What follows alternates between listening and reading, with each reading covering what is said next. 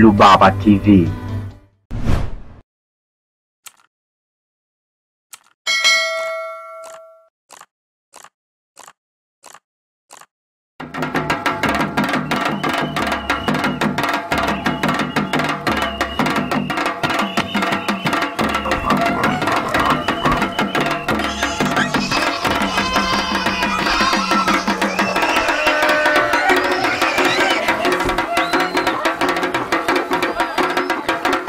Karibu tena mpenzi mtazamaji wa Rubaba TV, na kama unavyoona leo tuko katika mazingira tofauti.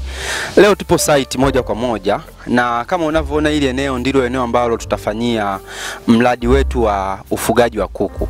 Kwa hiyo tutapata fursa ya kuweza kujifunza kwa kina katika kila hatua katika ufugaji wa kuku. Ina maana tutaanza kufahamu kwanza eneo la kujenga banda la kuku natakiwa liweje, lakini pia tutafahamu hatua zote katika ufugaji wa kuku.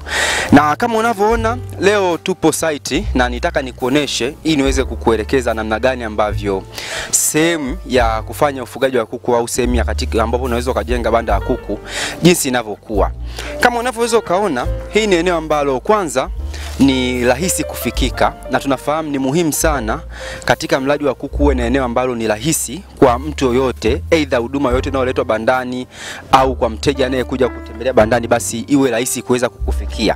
Kwa hiyo kama unavyoweza kuona, eneo alipo karibu sana na mji, lakini eneo ni rahisi sana kufikika.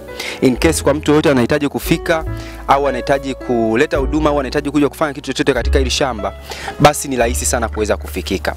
Lakini kama tunavyoona eneo halipo karibu na makazi ya watu, japokuwa makazi yamezunguka, lakini unaweza ukaona kwamba kuna distance kati ya makazi ya watu, lakini pia na sehemu ambapo tutafanyia huu mradi, na ni kitu cha msingi sana unapokuwa unafanya ufugaji wa aina yoyote vile, lazima utofautishe eneo unaofanyia mradi, lazima liwe kidogo limeji isolate au imejitenga katika makazi ya watu, na kama unavyoona eneo kabisa ni sehemu ambayo ipo pembeni na miji ya watu.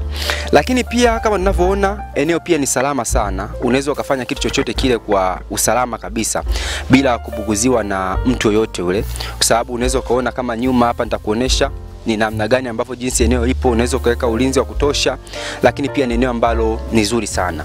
Lakini pia eneo hili ambalo tutafanyia mradi pia ni eneo ambalo ni karibu na, na nishati ya umeme lakini pia maji, kwa sababu tunafahamu katika kilimo au ufugaji wa kuku, basi ni muhimu sana kuwa karibu na nishati ya umeme au chanzo cha umeme, lakini pia chanzo cha maji, kwa sababu pia maji ni kitu ya kitu cha msingi sana katika ufugaji wowote ule. Kwa hiyo hii ndio sehemu ambayo tutakuwa tukifanyia mradi wetu na tutajifunza vitu kadha wa kadha. Tutaweza kufahamu kila hatua ya ufugaji wa kuku, ina maana tutaweza kufahamu jinsi mabanda ambavyo tutakavyoyajenga, lakini pia utaweza kufahamu jinsi ambavyo tutaleta vifaranga, jinsi ambavyo tutawalea vifaranga wetu hadi kufikia hatua ambayo wewe binafsi, ndugu mpenzi mtazamaji, utakuwa umeelewa na kufahamu vitu kadha wa kadha kuweza kusaidia kuweza kufanya ufugaji wa kuku wenye tija zaidi. Kwa hiyo nitaka kufahamisha hicho, na hapa nipo site kama nilivyosema. Usiache kusubscribe na kubofya alama ya kengele, lakini pia endelea kutufuatia Rubaba TV